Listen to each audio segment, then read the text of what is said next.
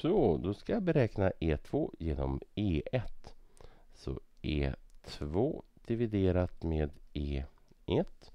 Och E2 får jag genom att stoppa en 8,1 i det här sambandet som jag tog fram i den tidigare uppgiften. Så då får jag att E är lika med 10 upphöjt till 3 halva gånger 8,1 plus 4,4.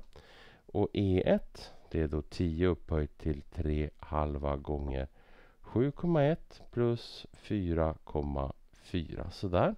Och så får vi räkna det här. Så 10 upphöjt till 3 halva gånger 8,1 plus 4,4 sådär.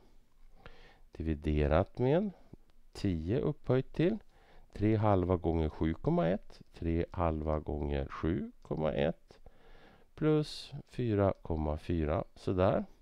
Och så trycker jag execute på det där och då får jag det här till ungefär 31,62. Och vad betyder det här då? Jo, det här är ju ett mått på, på energin. E2 det är ju då den energi som, som släpps ut då när vi hade jordbävningen 1960, 1906. Och det här E1 det är ju energin som frigjordes vid jordbävningen 1989. Så energin 1906 är alltså 31,62 gånger större än energin som släpptes ut eller som frigjordes 1989. Så där, så då skriver jag så här. Svar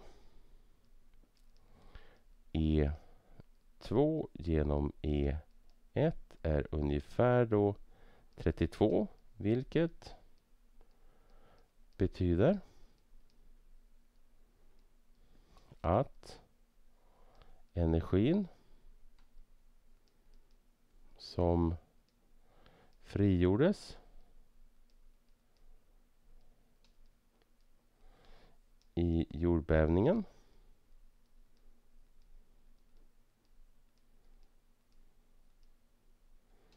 nittonhundrasex.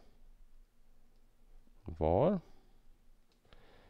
eh, cirka 32 gånger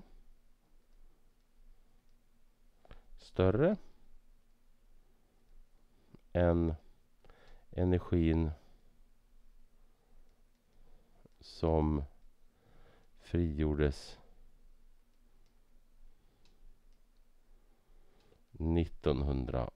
89.